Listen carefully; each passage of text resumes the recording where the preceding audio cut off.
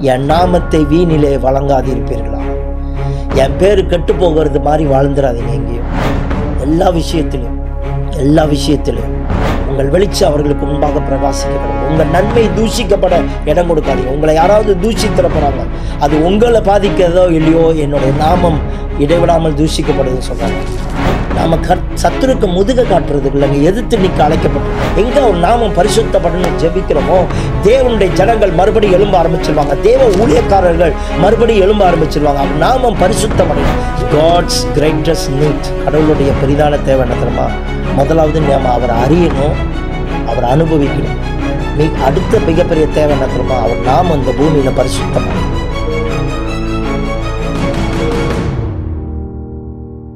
என்ன செய்ய சொன்னார்?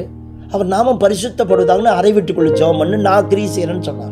இன்னைக்கு எல்லா சேர்ச்சும் அவர் நாமம் பரிசுத்தப்படுவதாகனு அறை வீட்டுக்குள்ளே ஜெபம் எவ்வளோ பெரிய எழுப்புதலை பார்க்க முடியும் தெரியுமா? இது வந்து எழுப்புதலுடைய ஜெபம் தெரியுமா? இந்த ஜெபம். ரிவைவல் கொண்டு வர்ற ஜெபம். மறுபடியும் எழுப்புற ஒரு ஜெபம். உன் நாமம் பரிசுத்தப்படுவதா?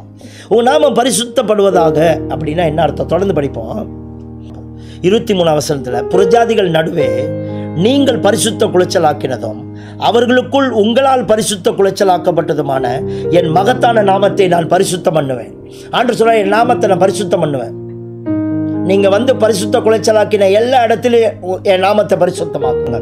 ஆண்டவர் சொல்றாரு எந்தெந்த சபைகள் மூலமா எந்தெந்த ஊழியக்காரர் மூலமா எந்தெந்த கிறிஸ்தவன் மூலமா கிறிஸ்தவ குடும்பத்தின் மூலமா இந்த பூமியில் ஆண்டவரோட நாமம் தூஷிக்கப்பட்டிருக்கோம். மறுபடியும் அவர் நாமத்தை பரிசுத்தப்படுத்துவேன்னு ஆண்டவரே சொல்றாரு. நான் பரிசுத்தப்படுத்துவேன். என் நாமத்தை மறுபடியும் பரிசுத்தப்படுத்துவேன்.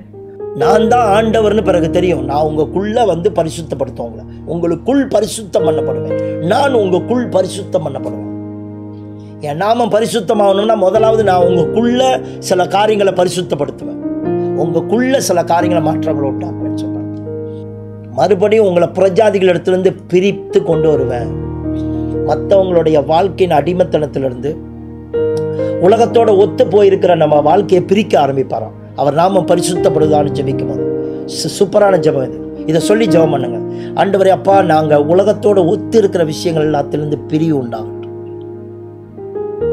தவறான ஆத்ம பிணைப்புகள்லேருந்து எங்களை பிரித்து கொண்டு வாங்க. தவறான அடிமைத்தனத்திலேருந்து எங்களை பிரித்து கொண்டு தவறான ஆட்களோட நாங்கள் எங்கெங்க கனெக்ஷன் இருக்கலாம் அதெல்லாம் அத்துருங்க. உன் நாமத்தை பரிசுத்தப்படுத்துங்க ஆண்டவர் சொன்னாரு உங்களை புறஜாதிகளிடத்துலேருந்து பிரித்து எங்கெங்கே நீங்கள் மாட்டிக்கிட்டு இருக்கீங்களோ எங்கெங்கே நீங்கள் அடிமைப்பட்டிருங்க விடுதலை ஆக்குவேன்னு சொன்னார். விடுதலையாக்கி உங்களை சொந்த தேசத்துக்கு கொண்டு வருவேன். என் நாமத்தை பரிசுத்தப்படுத்தும் போது நாம் செய்கிற மோத காரியம் இதுதான். உங்களை பிரித்தெடுப்பேன்னு சொன்னார்.